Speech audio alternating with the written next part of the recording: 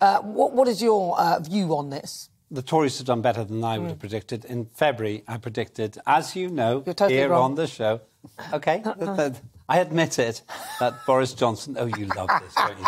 You love I'm not gonna gloat that too much. Boris Johnson would have to resign. You're wrong. You can have a go at me in a minute. Yeah, well, don't We're all going to have. Yeah, well, yeah, you yeah. wanted him to go as well, he's actually. Claire. unsinkable. He's unsinkable.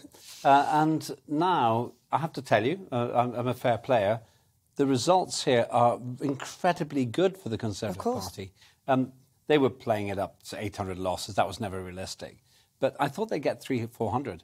And they've only actually got much, a fraction of that. So Boris Johnson, as far as these local election uh, results are concerned, he's safe as houses. There are other issues for him. But I'm honest enough to say that he did wrong.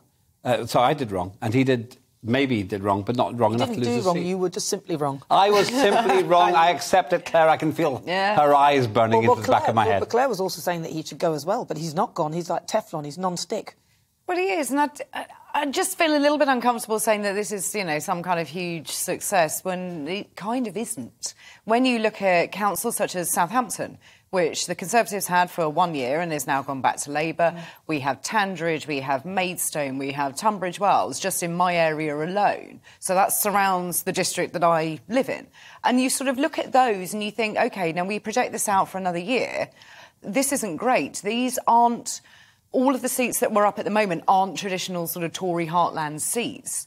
So I think this is only a little bit of a view as to what we've got coming down the line if this continues. Potentially, absolutely, we've still got Keir Starmer's relegation. Oh, I've not even allegations started. because the thing is, right? He went on and on. And, I mean, he just wouldn't let it go, and we all wanted him to let it go. We wanted them to get on with the business of running the government, but he called the business of running government a distraction uh, from Partygate. Now he's saying, "Oh, let's get on with doing the cost of living crisis." And it's like, well, hold on a minute. Remember before you were calling that a distraction because now you don't want us to focus on Beergate, and it's not looking good for him.